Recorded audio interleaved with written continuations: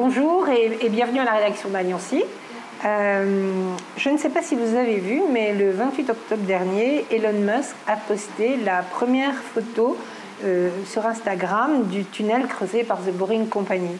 En fait, The Boring Company, c'est une des sociétés euh, d'Elon Musk qui veut créer des tunnels pour décongestionner la circulation dans les villes. Ce premier tunnel, en fait, sera long à terme de 3 km et il reliera la gare et l'aéroport de Los Angeles.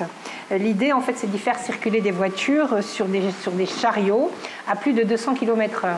Ça, c'est dans un premier temps, puisque dans un deuxième temps, c'est à environ 1000 km/h. Alors, euh, est-ce que c'est une utopie, euh, oui ou non euh, En tout cas, a priori non, puisque la compagnie vient d'obtenir de nouvelles autorisations de creuser.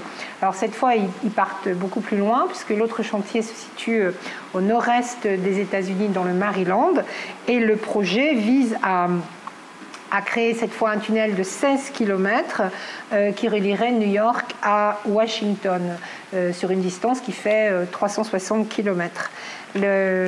L'idée pour un des porte-parole de, de, The Boring Company, c'est de vouloir construire des tunnels à bas coût et très rapides à creuser en fait, ils vont dix fois plus vite, paraît-il, que des systèmes qui se font aujourd'hui.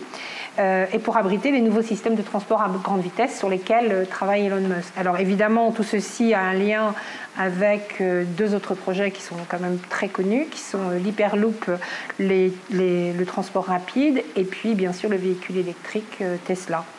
alors pourquoi je raconte cela? C'est parce que la, la, société The Boring Company a été créée le 17 décembre 2016 et que nous sommes euh, début novembre 2017, c'est-à-dire il y a encore moins d'un an.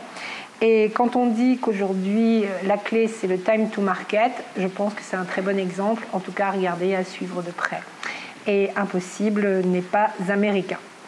Je vous souhaite une très bonne semaine et à très bientôt.